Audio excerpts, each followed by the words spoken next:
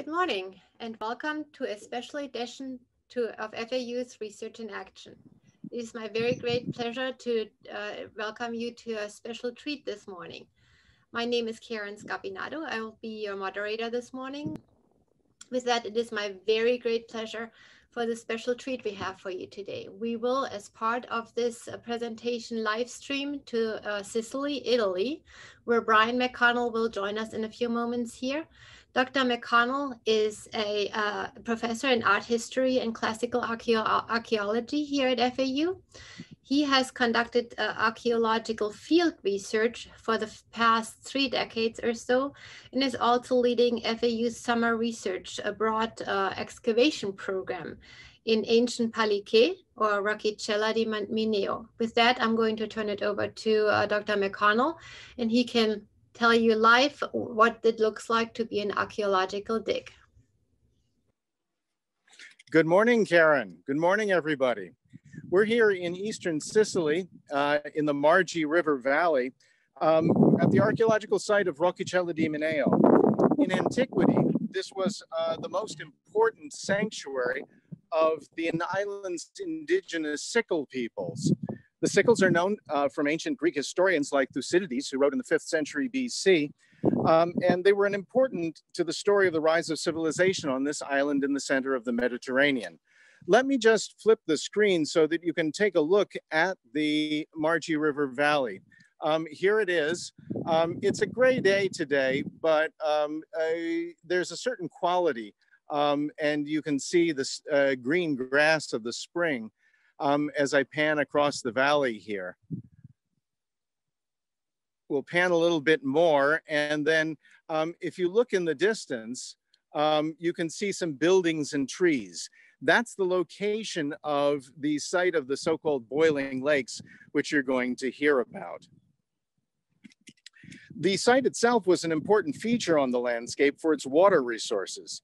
Even today, this hill is a source of pure spring water that comes from its permeable uh, volcanic rock. We're standing along a canal um, that was cut sometime in the sixth century BCE. The canal gathered water from the rock and from ground runoff and brought it to places where it could be used for a variety of purposes. The dramatic cutting in the rock, which you can see over here as the canal goes around a corner, um, is some of the best hydraulic engineering that one can find anywhere on the island, even among its famed coastal cities now, um, what I'm, we're going to do is to give you a little bit of a wider context uh, of the site um, in our first video.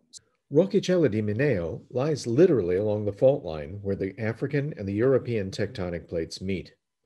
The interface between these plates produces a variety of volcanic activity, including the creation of the majestic Mount Etna, Europe's largest active volcano, which you will see in the background.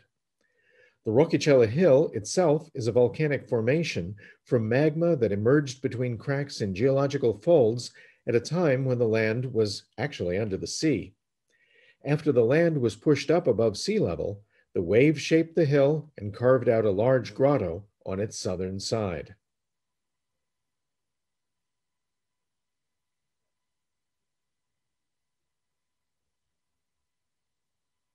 Out on the plain below the grotto, Continuing geological interaction created a pocket of carbon dioxide, which emerged from the ground to form what were known in antiquity as the boiling lakes. You see this area coming into view in the lower portion of the screen. Today, the carbon dioxide is extracted for industrial purposes. The ancient historian Diodorus Siculus, who wrote in the first century BCE, described geysers that shot up from the lakes, which were loud and rose to great heights in the air. Greek and Roman mythology tells us that they heralded the presence of two divine boys, the Palikoi, who were sons of a nymph named Thalia and the god Zeus. Thalia, who feared the anger of Zeus's wife, the goddess Hera, hid her sons under the earth. And like Persephone, whom Greek myth says was taken under the earth by Hades just two valleys to the west, the Palikoi too would return to the surface periodically. The boiling lakes were thought to be an oracle that could express judgment for capital crimes, and they became the focus of a cult that lasted for at least seven centuries, from the Greek Archaic period through the rise of the Roman Empire. Rocchicella di Mineo also served in the 5th century BCE as the center of a short lived League of Sikel Cities under the leadership of a man named Ducetius, and it seems to have maintained its special identity as a cult center even when Sicily came under Roman rule. The archaeological site is articulated into several areas, including the slope below the large grotto, the summit, where there was an archaic temple, and an upper plateau just below the summit, where we know there was a fortified settlement of the 4th century BCE and likely an earlier urban layout as well. Archaeological excavation at the site has been underway since the early 1960s, but substantial work and the creation of an archaeological park began in the mid 1990s, and today the site is a protected area of the Sicilian regional government. Okay, so you've had a, an introduction to the area. I'm here um, together with Dottoressa Laura Maniscalco, Director Emerita of the Soprintendenza per i Beni Culturali ed Ambientali di Catania. Um, she's the one who created this park. The current director of the uh, park, Dottoressa Gioconda Lamagna, unfortunately couldn't be with us today, but she did record a greeting for you. The greeting is in Italian, but there is a translation which will be running on the right side of the screen. So this is our second video. e di presentarmi. Io sono Gioconda Lamagna, sono il direttore eh, del Parco Archeologico di Catania e della Valle dell'Aci. È un parco molto grande che contiene al suo interno non solo i monumenti e le aree archeologiche di Catania che sono importantissimi, il teatro antico, l'anfiteatro, le terme della Rotonda, ma anche eh, monumenti del barocco catanese, parlo della chiesa di San Francesco Borgia, e musei, la Casa Verga, il Museo di Adrano, il Museo di Centurbe, il Museo della Ceramica di Caltagirone, eh, sparse in tutta la provincia. Quindi ehm, un parco grandissimo, dalle emergenze eh, non solo archeologiche ma culturali, paesaggistiche ed architettoniche. E eh, all'interno di questo parco, dicevo, c'è il museo il museo della ceramica di Caltagirone e c'è l'area archeologica di Paliché, che è un'area bellissima che è, è stata sottratta in passato agli appetiti di una zona industriale che eh, voleva diciamo, sfruttarla anche per, ehm, perché era vicino alla, ai laghetti di Naftia, che era preda dei tombaroli e che la sovrintendenza a partire dagli anni 90 è riuscita a conquistare con una eh, campagna di espropri e che adesso dopo anni e anni di ricerche archeologiche capillari eh, è pienamente fruibile e è pienamente conosciuta. Conosciuta ovviamente soltanto per quello che si è potuto fare, perché è un'area talmente vasta eh, per la quale io sono sicura eh, la ricerca archeologica continuerà sicuramente a, a riservarci delle bellissime sorprese.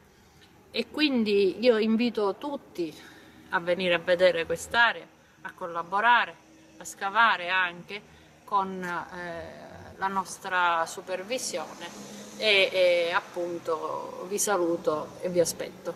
Grazie. As I said before, I'm here with Dottoressa Laura Maniscalco, um, who now uh, will tell you a little bit about the creation of the park. Good morning. The site of Roccicella has been mm. identified as the site of the ancient Palikoi sanctuary since 16th century, thanks to the Dominican monk Tommaso Fazello, who just uh, using the book of Diodorus Siculus and uh, on horseback, he literally covered hundreds of kilometers to Sicily, uh, was able to identify Selinus, for example, and this place also. Extensive excavation begin here in 1995. I'm proud to be that I begin this excavation.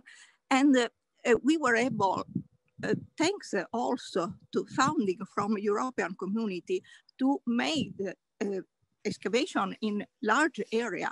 the research now go ahead thanks to the effort of Florida Atlantic University. But thanks to European community funding, it was also possible to restore the 18th century farmhouse that now is used as antiquarium and uh, storage place and facilities for restoration.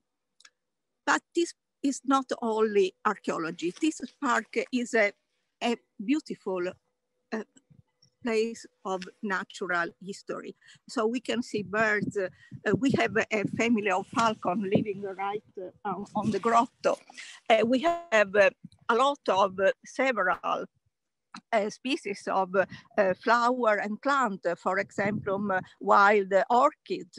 And so this place is so beautiful, not only for archaeologists, but also for the nature. It's a quiet place where you at least can stay far from noise and automobile. so it's, it's a very, it's a pleasure to work and to be here.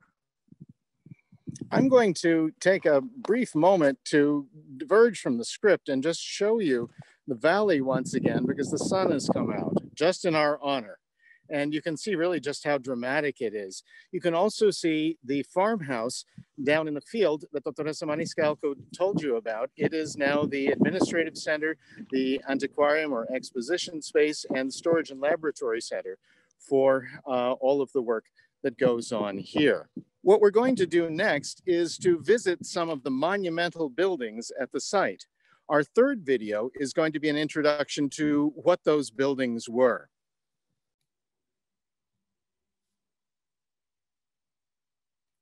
The ancient historian Diodorus Siculus describes the site in fair detail.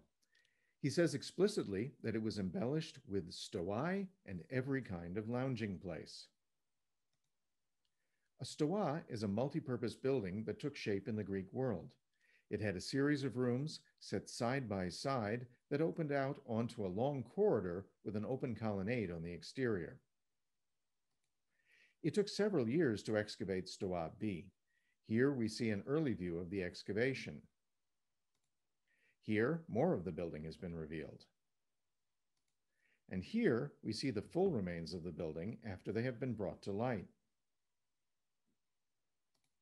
This slide shows a preliminary reconstruction of what the building would have looked like with ceramic elements of its roof.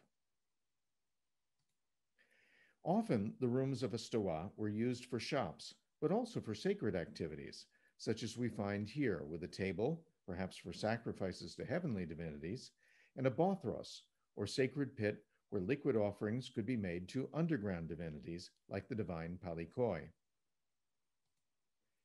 This reconstruction shows a man pouring a sacrificial offering called a libation, and a woman with a sacrificial piglet.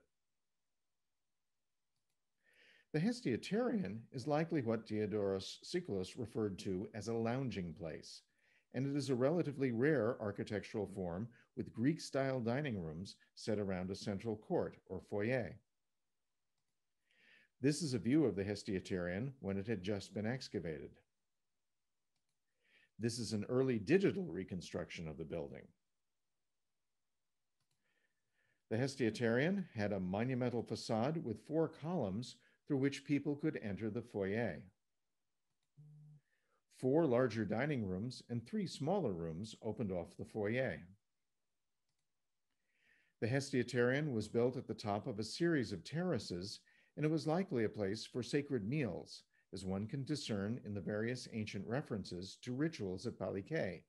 But it also may have served, at least briefly, as a meeting hall for the Sikel League, where representatives from the Sikel settlements around the Margi Valley could hold power lunches. People would dine in the Hestiaterion not by sitting at a table, as we do today, but by stretching out on dining couches, with the upper body propped up on one arm. Food and drink would be placed in front of the couch on tables that a person could reach with the other arm. The layering of structures in this area is complex and it shows the first monumental layout of the 7th century BCE, which follows the natural slope below the grotto. We can see this in the upper left-hand portion of the slide in light blue. The later transformation in the 5th century BCE, perhaps connected with the rise of the Sikel League, can be seen in darker blue in the same upper left-hand diagram and also in a schematic arrangement in the right side of the screen. Here we see a more regular grid-like arrangement of buildings that was even an axis with the Boiling Lakes and the ancient city of Menai, far on the other side of the Margi River Valley. We see that in the lower left-hand portion of the image, uh, we're looking along the axis towards the Boiling Lakes, and far on the other side of the valley is the hill where the ancient city of Menai, today Mineo, is located. This was the hometown of the Sikel leader Ducetius. So we are, uh, let's see uh, if we can get the video to, for us to go ahead. Um, we are inside the area of the Hestiaterion here. Mm -hmm. I see that the uh, um, video is actually working. Um, the Hestiaterion is uh, protected by this big metal shed that you can see up above. Um, it was at the top of a hill, uh, which was accessed by means of a road. Let me just flip the image here so that you can uh, see. Let me just, uh, it comes, leads to a road where I'm standing right now. And I'm going to pan around the structure just like this very slowly to show you where that road actually went. Um, it went to a stairway that you can see, um, which is cut into the side of the hill that actually led all the way to another sanctuary at the top of the hill. That's a whole nother complex uh, part of the site um, uh, that is uh, that we have been uh, excavating as well. The Hestiaterion was indeed a monumental building, and uh, it had monumental cut blocks like the ones that you see for the entranceway. Um, the full set of blocks in the lower course of the entranceway is preserved here. And there are blocks that go down four courses below this to provide a very solid foundation for the building. A second step was built on top of that. And although most of the blocks are no longer here, you can see from the cuttings uh, in the blocks, these so-called setting lines, um, where the other blocks could have been. So uh, we're able to reconstruct uh, what that building was like. Um, the precision of the blocks here is as good as what you can find in any Greek center, including the Agora of Athens. This is my favorite block here, um, where you can see uh, the anathyrosis, which was a technique where you see that center area cut away um, that the Greeks used and the, the, Sikels perhaps used here too, um, to uh, put the blocks together very neatly. Down below, you can see uh, a pry hole, and there's even an area where uh, the cutting went a little too far. So that tells us something about how they cut the blocks. Uh, along the side, uh, you can see these decorative bands uh, which uh, we found years ago uh, in an excavation when I was a student uh, on the painted stoa in the Agora of Athens. My favorite view is right here. Well, let's go the other way. Um, so uh, you can see how the lip of the block to the left fits perfectly on the block to the right along the setting line there. And there's even a little fragment of the block that was once there um, which we found in place and has been held there by plaster. Um, right there. Now, this building was used, we know, for uh, ritual dining and perhaps political dining. I'm going to walk very slowly through the structure um, so that you can see one of the dining rooms. There are many other later features of this building, so um, some of the blocks that you see weren't part of its original construction let's look down here at the entranceway. You can see these blocks, um, which uh, have some of the features that we saw before, but there's a big cutting for a step um, that's set into it. I'm going to turn to the next block. Um, the rear portion uh, of that block is missing, but we know that it was there. Um, this doorway was set off center with respect to the rooms because uh, there would be dining couches that were set around the edges. Along this side over here, uh, by the doorway, a couch would be set lengthwise and they would go all the way around the room to the other side where the couch would come in uh, as a header, not as a stretcher. And for that reason, the doorway was off center. One of the interesting things that we found uh, was this big block that you see there. It has a kind of T section. This could have been one of the bases for the dining couches. And um, it could have been the part that held the platform where the person would have stretched out uh, was, or it could have been the platform itself that would have been set on its side. We're not really sure. This is a unique piece um, uh, found in the Mediterranean. Um, in the back area over here, where you can see uh, another dining room and then three smaller rooms over there, uh, you get a sense for how the building was put together. After uh, the height of the Roman Empire, surely, and by the fourth century uh, AD, when, uh, for example, the famous villa at Piazza Armerina um, was uh, in use, this area was turned into a farm, and some of the rooms you see inside the room uh, date to that time. Uh, after that, uh, the when the full structure was actually buried, there was a church that was built on its western side. You can see uh, that over here, that stone wall, which is in the highest portion uh, that remains unexcavated over there, is actually the foundation for a church which had a little apse, which was close uh, to the rock on the other side. Uh, so there are many things to see over here. Um, our work at FAU has concentrated instead on the area where just below where Dottoressa Maniscalco is standing right now. Um, our students have been looking at the venerable old structures, trying to get the chronology of the earlier structures that preceded the construction of the Hestiaterion and the Stoas down below. In the next video, you're going to see some of those students at work. Archaeological excavation is a careful dissection of stratigraphic layers, many of which represent successive floor levels. At the middle portion of the slope, they were the most venerable archaic buildings. Excavation is a slow process, and care must be given to finding including ceramics, bones, lithics, and soil samples about the environment.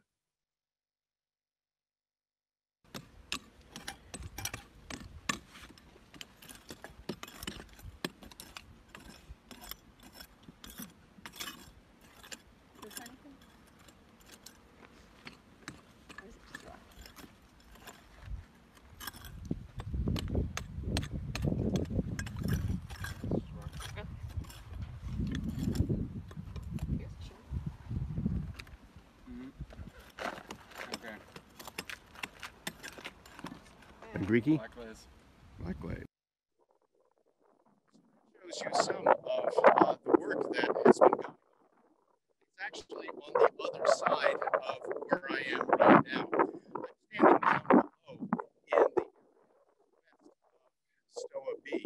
Um, I'm going to flip the screen here so that you can see uh, this. I'm going to turn this so that you can see where we have been look up there, that's where the Hestiaterion is. You can see the edge of the grotto on the top and uh, uh, the stairs also lead uh, from there. In this area, we have a whole series of cuttings, which are important to our understanding of the architecture of the place.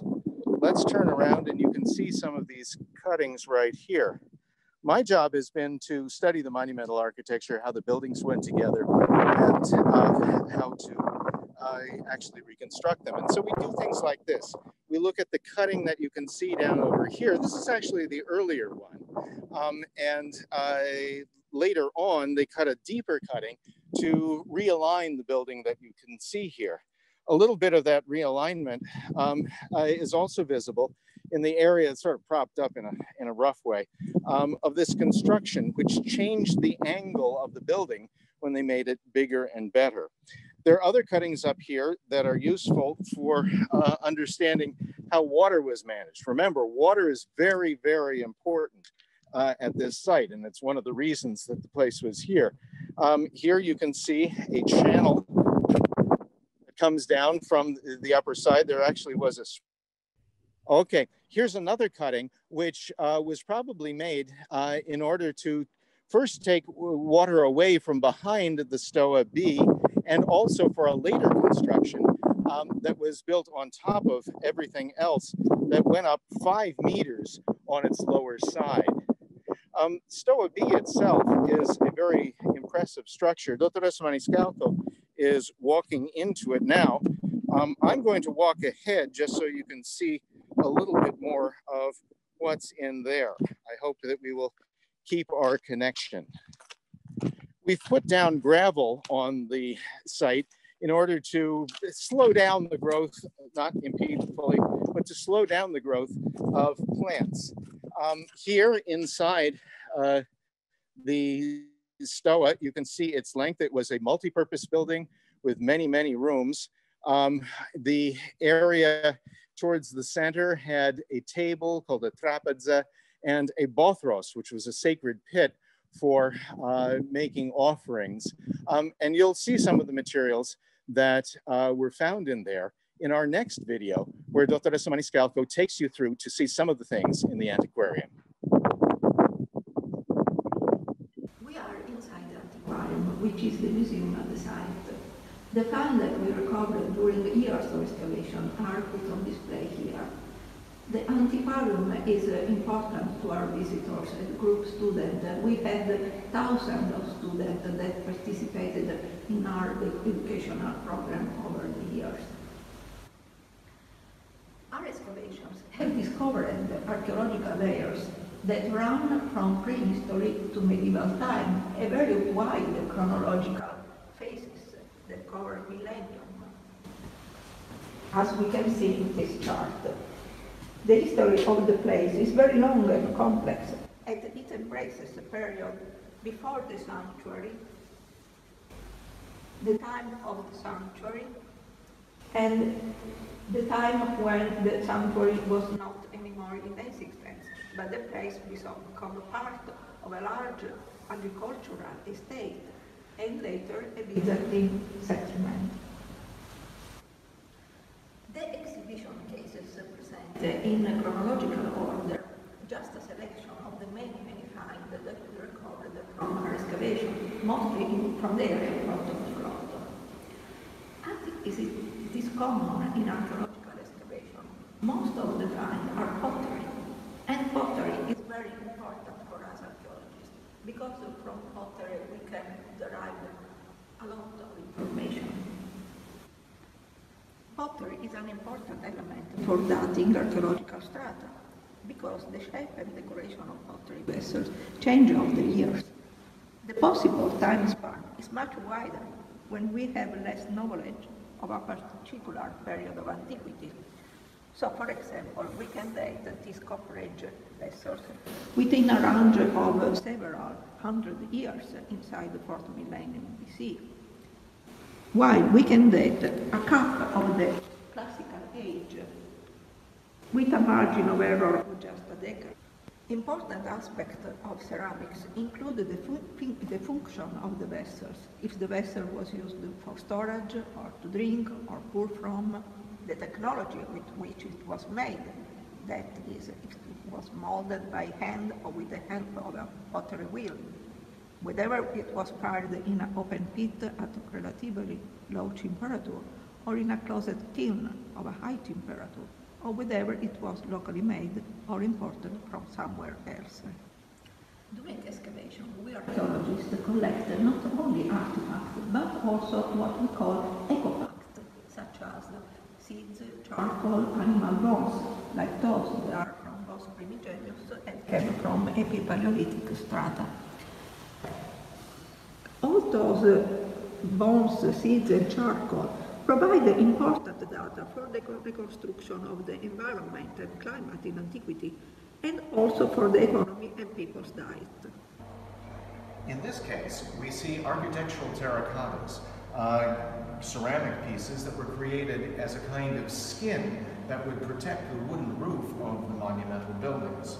Um, from various small pieces of large uh, elements such as this kalypter that you see over here, or this cover tile uh, over there that would have covered the joints between two pan tiles, or the painted eaves tiles with their lovely decoration that you can see uh, over there, we're able to get a full sense of what the roofs of the buildings were like. We also get a sense for the production and things that would happen along the way.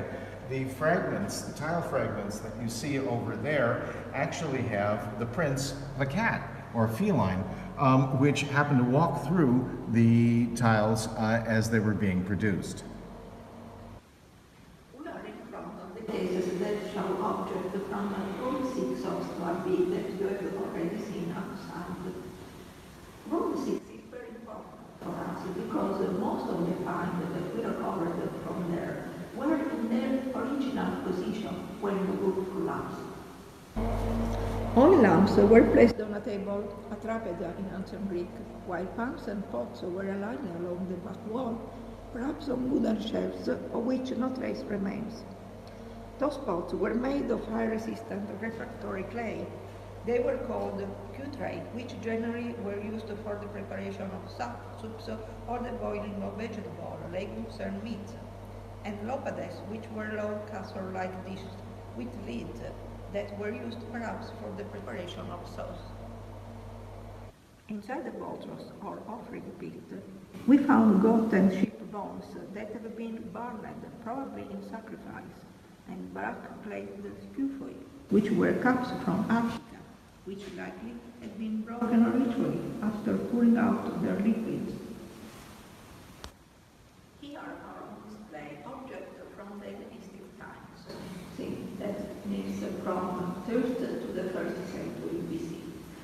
This stylus was found inside the Stoa Epica, which actually ran just under our feet inside this environment. The pointed side of the stylus was used to write in wax that had been coated on one side of a wooden tablet. The flat side was used to erasing the errors by scraping away the character in the wax. Here we see terracotta figurines that were made in a mold, also in terracotta. The molds document the presence of craft shops that probably produced objects for the sanctuary. Now we are going to see another uh, video which takes place uh, actually out in the field down below, which you can see uh, out there, uh, out there. Um, two specialists in geophysical surveying uh, will tell you what they do. This is our sixth video. Exploration is not simply the physical excavation of ancient structures and the recovery, conservation, and display of objects, but a variety of techniques, such as those of remote sensing, can help us know what else there is to find even before our digging tools touch the ground. Here we see an infrared photograph taken from an aircraft by the company Aerosistemi for the Soprintendenza in the year 2000. It suggests that there are many anomalies in the area outside the formal limits of the park that are worth investigation. In order to get a closer look, and thanks to a seed grant from the Dorothy F. Schmidt Bruce Bevan and Professor Tatiana Smekalova spent a week at the site measuring the magnetic properties of the soil and the materials that it contains. Here they explain. So this is a, what's called a magnetic susceptibility meter. It's now off, but I can turn it on right here and it should normally read zero and it is reading zero there pretty close to zero but when I go over to uh, say a ceramic like this this ceramic here will touch this sensor to it. You see go way over the top of the scale there. See how the needle goes way up there? Means that's very magnetic. I'll increase the scale of the uh, decrease the sensitivity so it won't go up so high. Still goes way up there but extremely magnetic. That bit of ceramic for some reason it's much more ceramic much more magnetic than most of the stone here. So this is measuring what is called the magnetic susceptibility of materials ceramic and stone and um, it's a very good way to quantify how they differ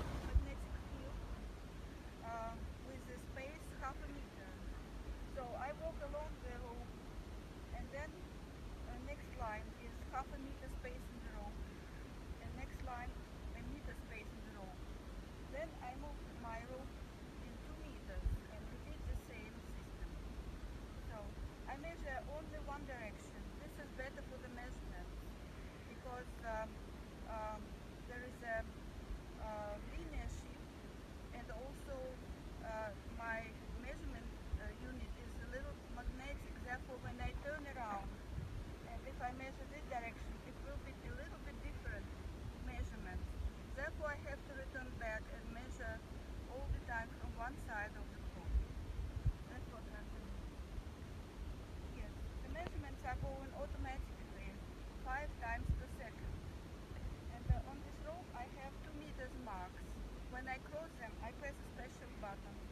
So there is sequence of measurements and uh, coordinate marks in between of them. So they're all stored in the memory of the instrument. And then when I'm home, I start to treat the data with a special program. So each measurement has its own coordinate. Okay.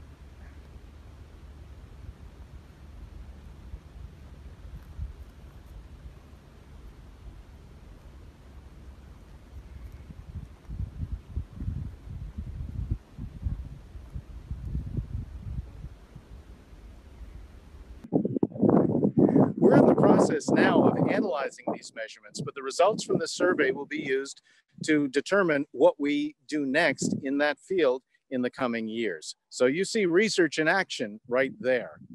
So this has been your introduction to the site. We've taken you around to see some of the buildings. There are many, many more things to see. Um, we've showed you the antiquarium and some of the things that are on display. Um, perhaps you have questions now. Great. Thank you so much, Brian. We do have time for questions. Brian, um, excavations and archaeology, archaeology take a lot of patience from, you know, you showed that video with the uh, with the students uh, going through basically dirt and looking for scraps. Um, uh, how did you get into archaeology and excavations? I was always interested in archaeology, and actually in high school, I went to a dig um, at Kampsville, Illinois, uh, along the Illinois River. I, I in college, uh, I worked as uh, an archaeologist assistant with a contract surveying team in New York City. When I was a freshman in uh, college, um, by almost by chance, I ended up in a course on Aegean Bronze Age prehistory, which is rather rare, but that fired my imagination. And although I had the idea that I might do mathematics, chemistry, or something else like that, which are all wonderful subjects, all of a sudden, literally, the, the light went off and there was a ray from heaven that came down and said, No, archaeology is the thing that you should do. So, uh, both of my degrees, my undergraduate and my graduate degree, are in classical archaeology. And I've worked in a number of places, including Greece, Turkey, Cyprus, but for the past over 30 years uh, here in Sicily. I like seeing landscapes and seeing things that uh, once were that aren't there anymore, but are still there. There's the excitement. It's it, when you do a dig. It, for me, it's almost like a sports match because the land doesn't want to give up its secrets, but I want to find them out.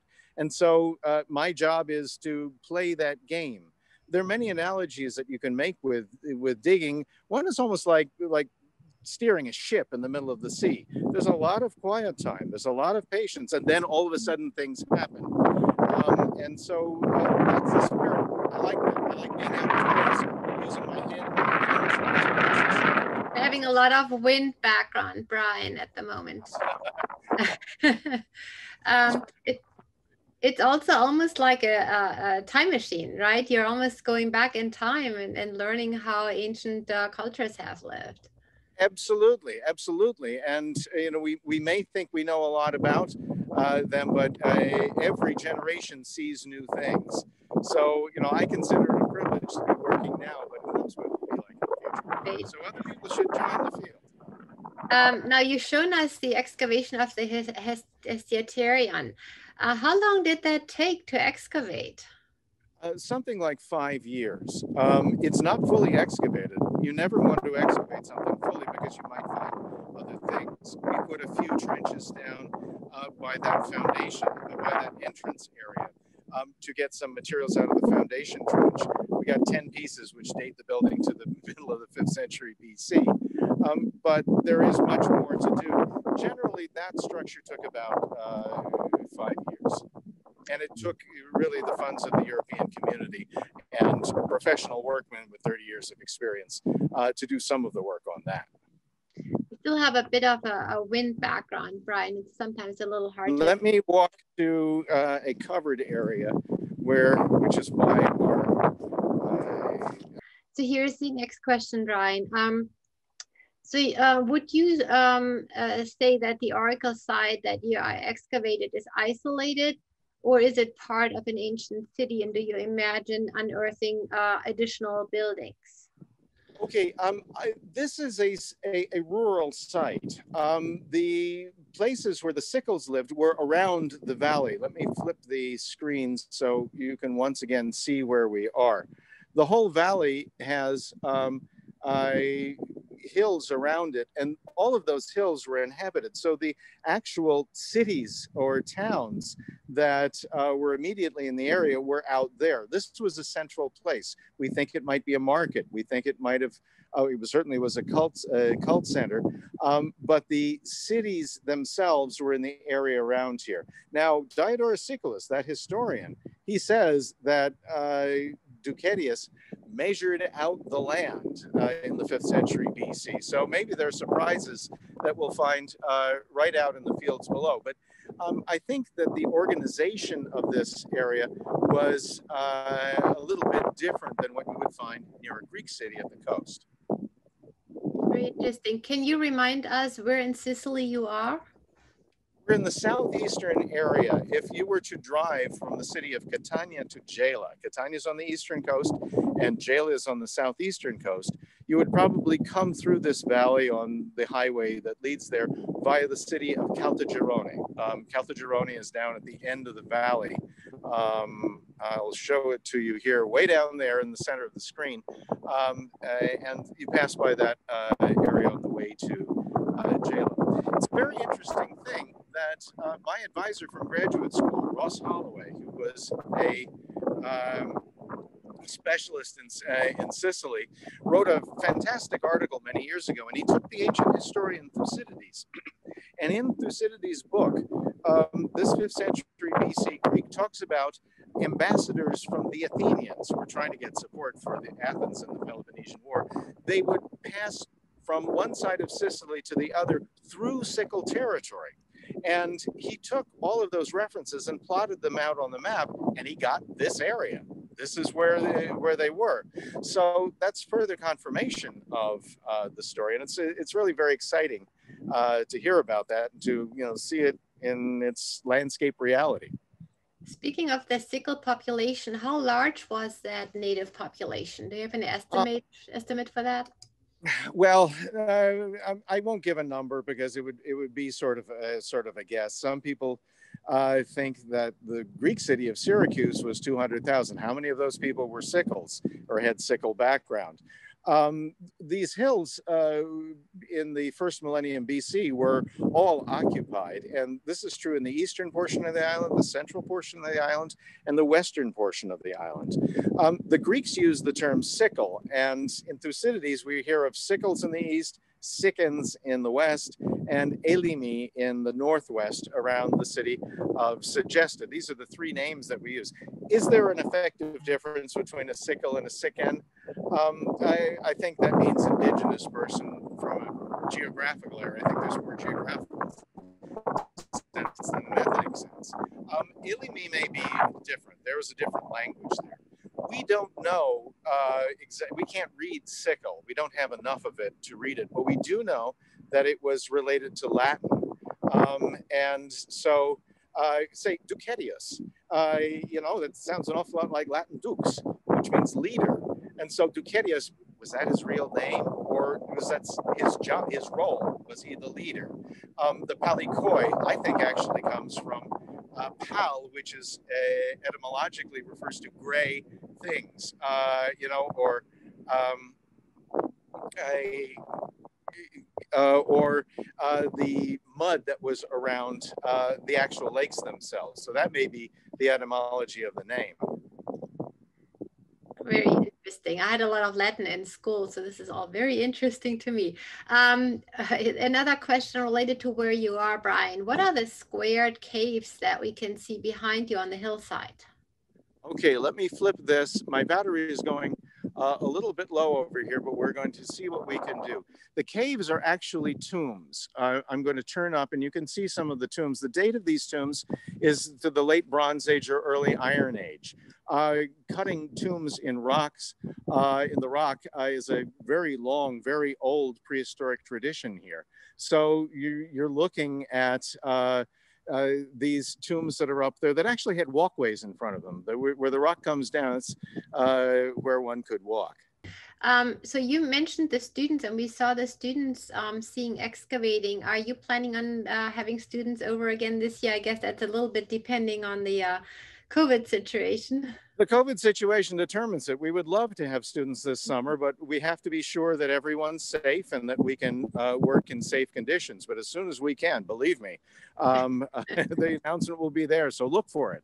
Yeah. Um, can non-academic groups come to this site? It is my understanding that this is a, a park that's open to the public, correct? It's open to the public, yes. And um, right now, like most museums and archaeological sites in Italy, it's closed due to COVID. Um, but it is open uh, Tuesday through Saturday and Wednesdays. It's open all day through 6 p.m. Um, and it's taken care of by uh, the people that uh, you see here. Let me just introduce you uh, to the people who take care of the site. Let me uh, turn this so that you, you, can see all of them. They can say hi to you. There's Mr. Ruggieri, there's Mr. Graziosa, there's Mr. Bonilla, together with Dr. Maniscalco, and they give you your, you can go there and visit them, and they'll they'll give you a nice little uh, introduction to the place as well. I don't know about uh, anybody else, but I'm going to make my way over there after COVID. Um, uh, a, a, a, question closer to home here in, in Florida, where we are, are there any places that you know of in Florida that uh, are uh, archaeological digs? Oh, there are many. Uh, there are many archaeological sites. Uh, Palm Beach County has an official archaeologist. My favorite place is actually Mound Key over on the other side of uh, Florida near Bonita Springs. Um, there you have, uh, it's almost like the Venice of the Calusa world. The that's cut through an island, and there are many things to, to see there. So, yes, Florida has a lot of archaeology, absolutely. absolutely coming back to the excavation and and uh, we saw a lot of uh, amazingly preserved ceramics in your museum there. Do those uh, uh come all from the site there? Yes the ones that you saw in the particular group all came from that bothros they enable us to know what uh, you know was going on there. You actually have the ritual of uh, pouring liquids to underground divinities, maybe the palikoi, and then the ritual breaking and deposition of the ceramics. That's pretty amazing. And those are very, very good, uh, you know, ceramics too.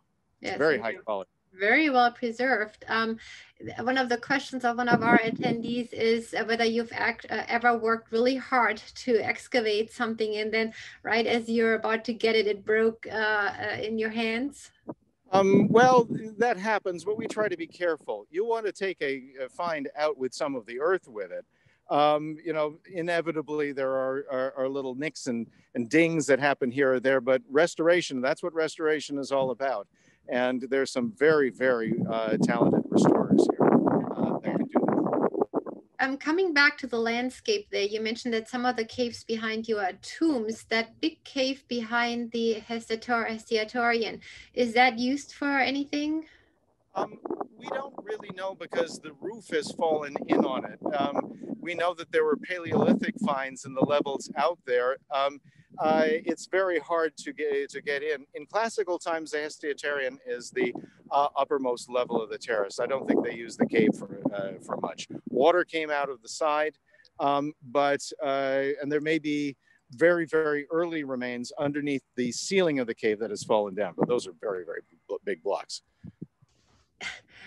coming back to the the items that you've excavated one of the questions here is um, what is the most expensive thing and you can you can uh, judge that however you like uh, that you have excavated. In terms of value, we think in terms of historical value. Right. We think of archaeological value. Uh, monetary value is simply what somebody wants to pay for something. So any sense for that is is a function of our times, not times in antiquity coming back to some history and learning more about the area of Sicily, can you recommend a good history book about Sicily? Um, well, there's uh, Robert Leighton's Sicily Before History. I always like the uh, John Julius Norwich uh, books about the medieval uh, times, uh, The Kingdom Under the Sun or Sicily and the Normans. Uh, John Julius Norwich is the author there. Um, there's another book called Syracuse Glory of Sicily, which is very readable. Um, it's not doesn't go into depth like that. But I, I, would recommend these books, and I can add a bibliography uh, when I answer some of the other questions online. Great, thank you. Um, an interesting question here. We have somebody calling in from Turkey, and um, uh, she's asking uh, whether you have any goals to do similar excavations in Central Asia, such as, such as uh, Kazakhstan. Um, it would be very nice. Um, uh, uh, I have been there, and uh, I, I, think your uh, reader knows that I've been there. Um, I would love to go, to go out there now. Right now, this spring, I'm working on my sabbatical here, but I certainly would love to return to uh, Central Asia to see more.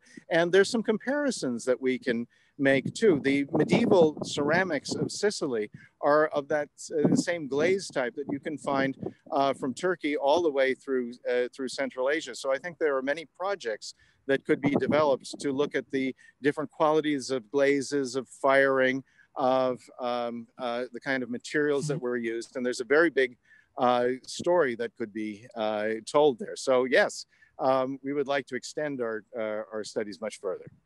Great. Thank you so much, Brian. With that, we're about out of time. Thank you again. I don't know about anybody else, but I will make my way over to Sicily once uh, we're allowed to travel again. And I hope to see okay. you there, Brian. Okay, very good. And once again, let's all uh, say uh, best wishes to everyone. It's been a pleasure hosting you uh, at the site. Okay? Thank Take you care. so much, Brian. Have Take a good day. Okay, bye-bye.